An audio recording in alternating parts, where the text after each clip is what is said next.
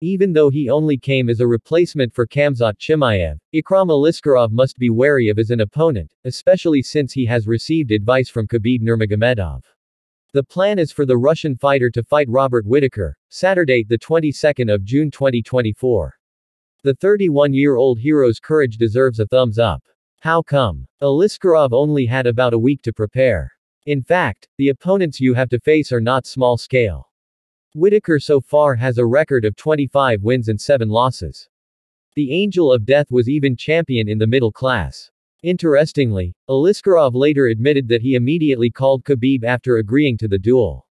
The Eagle also gave him important advice. Yes, when I received the offer, I immediately called Khabib, he said, as reported by Juara.net from sport-express.ru.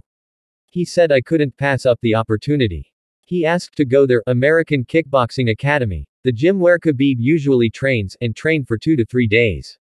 I have to acclimatize, because the time difference is 10 hours.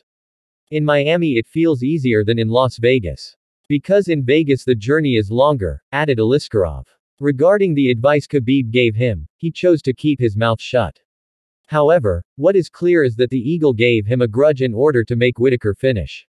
Yes, we discussed this, he said. Let's just put aside what he asked me for now.